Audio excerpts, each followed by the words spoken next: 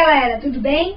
Bora pro primeiro vídeo Opiniões do mês de maio? O primeiro vídeo Opiniões do mês de maio vai contar a origem do mês de maio. Pelas minhas pesquisas, o mês de maio é o quinto mês do calendário gregoriano. E ele tem, ele é composto de 31 dias. É, hoje, dia 1 de maio, é dia do trabalhador aqui no Brasil, mas em outro, outros lugares eu não consegui descobrir.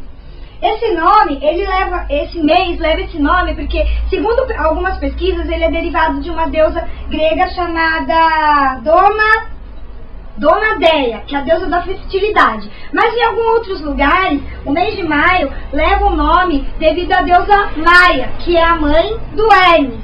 Espero que vocês tenham gostado da curiosidade. Esse é meu cantinho novo, é um trabalho para fazer, é simplesinho.